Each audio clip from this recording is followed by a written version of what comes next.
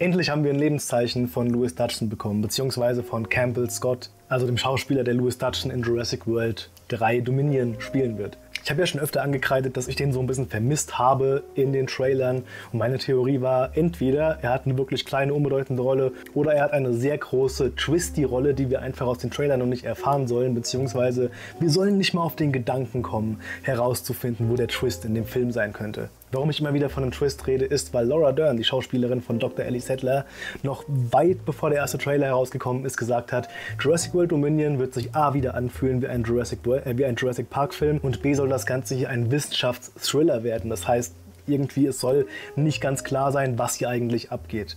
Und da wir bisher von Biosyn oder auch von Louis Dutton so gut wie noch gar nichts gesehen oder gehört haben, glaube ich, da ist wirklich was dran. Jetzt hat sich allerdings Campbell Scott zu Wort gemeldet und ja, hier wird es keine Spoiler geben, also nein, hier wird es keine Spoiler in dem Video geben. Er hat nicht sehr viel von seiner Person preisgegeben.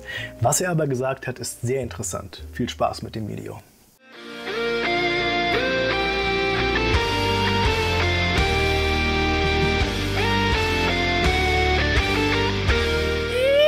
Wenn euch das Thema Kaiju interessiert, lasst einen Like da, abonniert den Kanal und aktiviert die Glocke.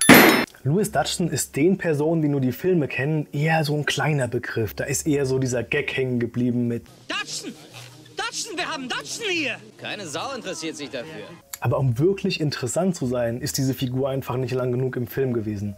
Was sehr seltsam ist, denn im Buch spielt Louis Dutton eine wesentlich größere Rolle und ist wesentlich gefährlicher, als wir das in den Filmen bzw. im ersten Film gesehen haben. Nur mal so als Beispiel, er versucht im zweiten Teil Sarah Harding zu ertränken und so ein Kram. Louis Dutton nimmt zum Teil die Rolle ein, die Peter Ludlow in den Filmen eingenommen hat. Zum Beispiel den Tod von Peter Ludlow in Jurassic, World, äh, Jurassic Park 2, The Lost World. Den bekommt Louis Dutton in den Büchern. Warum reden wir jetzt hier über die Bücher, obwohl wir eigentlich über über die Filme reden wollen. Ich fange jetzt an, den Twist zu den Filmen rüberzunehmen, denn Campbell Scott hat so ein bisschen über die Rolle des Louis Dutton gequatscht. Dazu müsst ihr auch wissen, dass die Rolle umgesetzt wurde. Cameron Thor war noch im allerersten Jurassic Park Film 1993 der Louis Dutchson gewesen. Der wurde dann aber aus bestimmten Zwischenfällen rausgenommen aus dem Ganzen. Und jetzt haben wir eben Campbell Scott. Kurzer Side-Fact: Cameron Thor hat in einem Interview mal erklärt, dass Steven Spielberg ihn nach seiner abgedrehten Szene aus Jurassic Park 1 sich zur Brust genommen hat und hat zu ihm gesagt: Bleib du bereit, bleib am Telefon, ich werde dich für Teil 2 wieder anrufen. Seltsam, dass wir Louis Dutchson in Jurassic Park 2 nicht mehr bekommen haben. Vielleicht mache ich da auch mal ein Video dazu, wie das passiert ist. Jetzt haben wir auf jeden Fall Campbell Scott als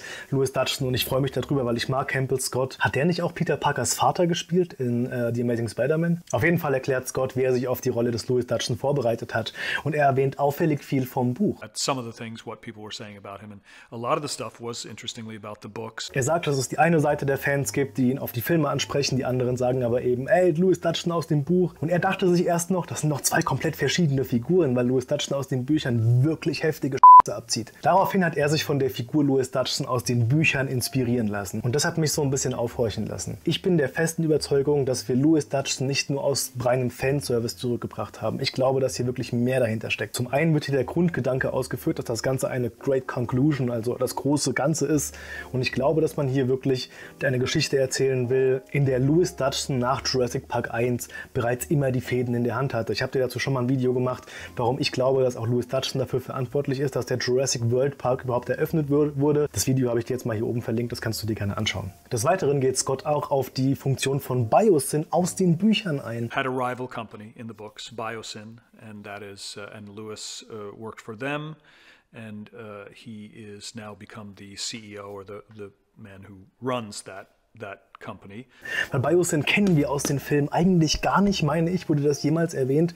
Ich glaube nicht. Und Biosyn ist eben eine Konkurrenzfirma zu InGen, die aber immer im Hintergrund agieren mussten, beziehungsweise immer im Schatten von InGen standen, weil InGen eben die Technologie gefunden hat, um Saurier zu erschaffen, beziehungsweise hatten die eben den Vorteil, dass sie die DNA von den Dinosauriern bekommen haben. Die hatte Biosyn eben nicht. Die hatten dafür andere Forschungen gemacht, die mit Biotechnologie zu tun hatten. In den Büchern erfahren wir zum Beispiel, dass Biosyn eine Art Zellaustausch Austausch geforscht hat, dass man sich seine eigenen Geruchszellen rausziehen kann und kann neue implantieren, damit man immer nach seinem Lieblingsduft riecht. Geil, aber halt schwach gegen die Saurier John Hammond erschaffen konnte. Aus diesem Grund hat Biosyn bzw. Louis Dutchson auch Dennis Nedry beauftragt, die DNA der Saurier, diese Embryos, aus dem Jurassic Park zu klauen und eben zu ihm zu bringen. Interessant hierbei ist, dass Scott sogar darauf eingeht, warum Louis Dutchson nicht früher aktiv geworden ist. Er erzählt in dem Interview nämlich unter anderem auch, dass Dutchson bisher für Biosyn gearbeitet hat. Inzwischen Incorporation ist er aber der Leiter, ein Anführer dieser Firma.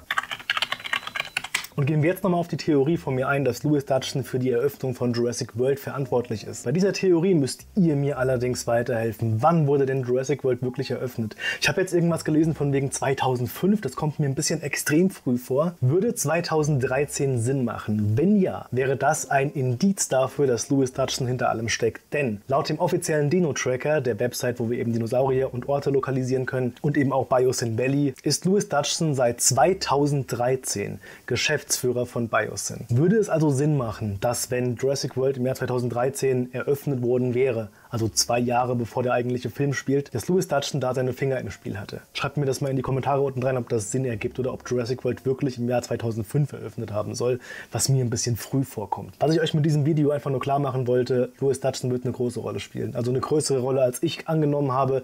Der steckt hinter irgendeinem großen Plan, den wir jetzt in diesem Film erfahren werden und wird nicht einfach nur als Randfigur da rumrennen und dann kurz vom Giganotosaurus gefressen werden. Auch der Grund, warum er diesen Dinosaurier erschaffen hat, wird in diesem Film noch erklärt werden müssen weil das muss einen Grund haben, warum wir in, dem, in den ersten fünf Minuten des Films sehen, wie der T-Rex den Kampf gegen den Giganotosaurus verliert. Warum zeigt man uns das? Warum zeigt man uns, dass diese Mücke die DNA vom T-Rex genommen hat und wir aus dieser DNA quasi einen neuen Rex gezüchtet haben? Warum wird uns das gezeigt? Das muss im Film später irgendwie einen Zusammenhang haben und ich glaube, Louis Dutchson, Giganotosaurus, das alles wird ein großes Sinnbild geben.